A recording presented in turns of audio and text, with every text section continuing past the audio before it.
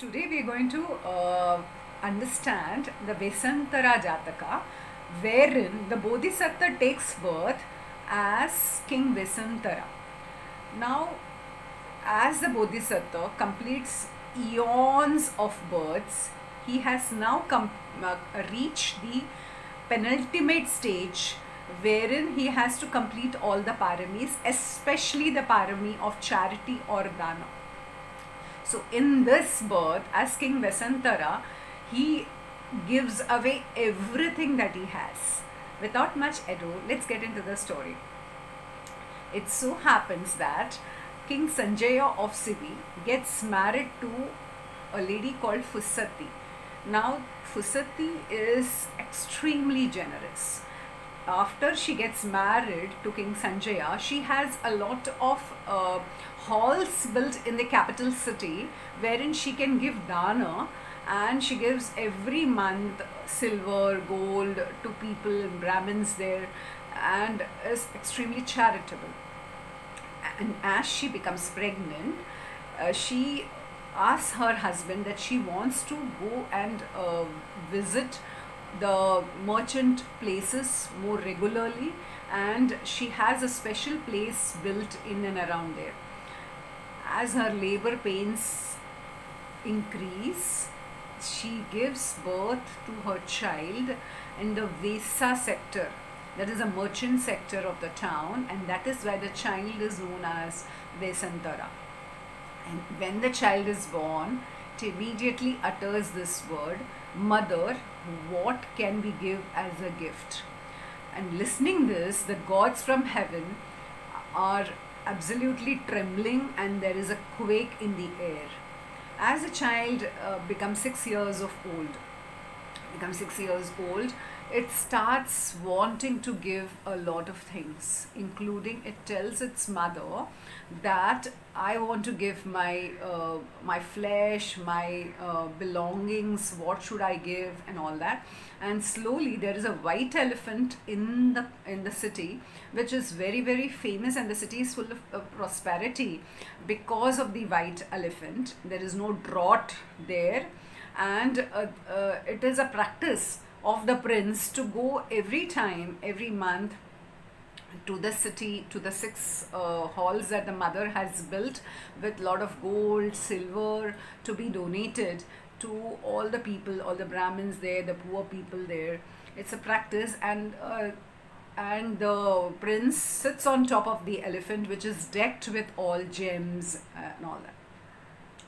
When the uh, child becomes 16 it uh, uh, he marries a girl called Maddi and both lead a very beautiful life. They have two children a boy and a girl. And they live a very satisfied life and they uh, give a lot to charity it so happens that now the time has come for King Vessantara to show his generosity. So the uh, uh, gods from heaven become eight Brahmins and then they decide that they would ask uh, King Vessantara for more prized possessions. So they go and approach King Vessantara and ask uh, King Vessantara for the white elephant, which is supposed to be the item of prosperity for the entire kingdom. At that point in time, King Vessantara is distributing the gold, silver, and the elephant is also bedecked with all uh, gemstones and a lot of uh, precious ornaments. Immediately, without thinking, when the Brahmins ask for it, he immediately gives it along with all the treasures. And when the uh, uh, uh, when the art of gen generosity is done he goes back to the to his house and tells the king that he has donated the elephant the subjects in the kingdom are very annoyed because uh, th this uh, elephant was used by the Brahmins for the neighboring village or neighboring kingdom of Kalinga where there was a drought. So now they fear that there would be a drought here because the elephant has gone there. So they request King Sanjaya that you please ask Vessantara to go on exile because we cannot continue with uh, uh, this kind of behavior of generosity wherein all the things are given. So accordingly, King uh, after listening, he decides that he, his wife, and his children would leave the household, and they leave the household and they go.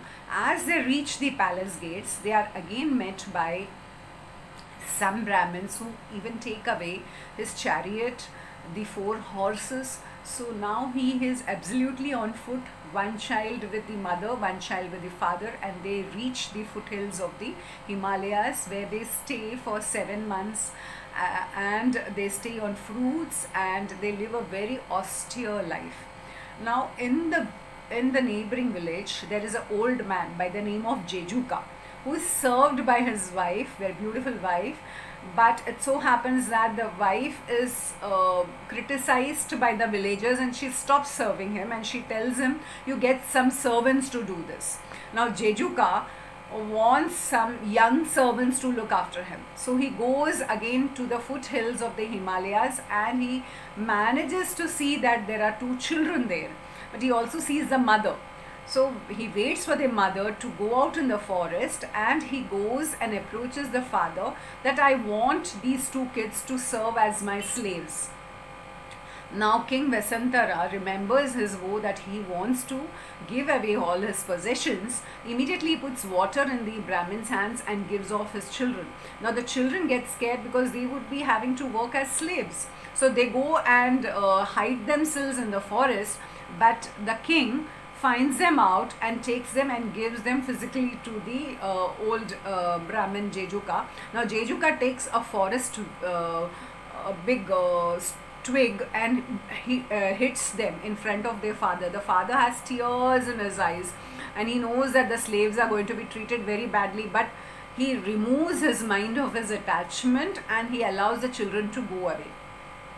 Now the mother when she comes and she sees that the children are not, not there, she uh, asks King but he doesn't reply. So she goes around in the forest in search of them and then she's unable to find them and she comes back and faints. Now King Vessantara uh, picks her up and revives her and he tells her the story. Now the mother doesn't rebuke King Vessantara. She knows of his promise of giving away a lot of things. So she remains quiet.